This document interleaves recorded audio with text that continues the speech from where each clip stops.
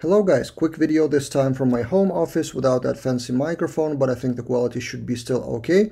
And I want to demonstrate a few new features in Laravel 8.12 and above related to having with count on the relationships, whether it belongs to or belongs to many. Probably a few of you will know that there is a feature called author with count, which means that you can load the model with count of relationships and it will return the amount of records for every record of author. So in my case, author and books are many-to-many relationship, belongs to many. And if I load that on the page, I'm using Spatie Laravel Ray as kind of a debugger because it shows models really visually. So I'm not doing DD or var dump or anything. I do ray models and it shows it in an elegant way. So books count 1, books count 3, books count 2.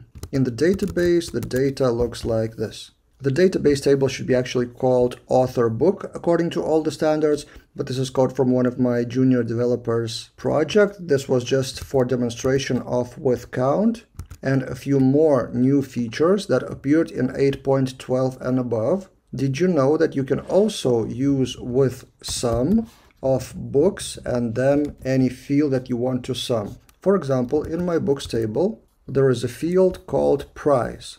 So what if you want to calculate total price for all the authors?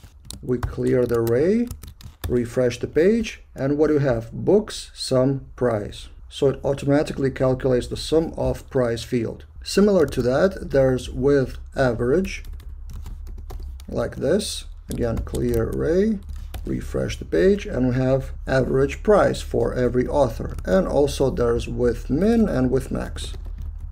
Clear, refresh, and we have books min price. And what queries are running under the hood? Let's return anything, and I have Laravel debug bar installed, which will show the actual query. Let's close the Ray for now. So select authors, and then there's a subquery select min books price from books. So I don't think there's any negative uh, on performance, on amount of queries. It does look like it's working in effective way. And this function was submitted by Khalil Laleh.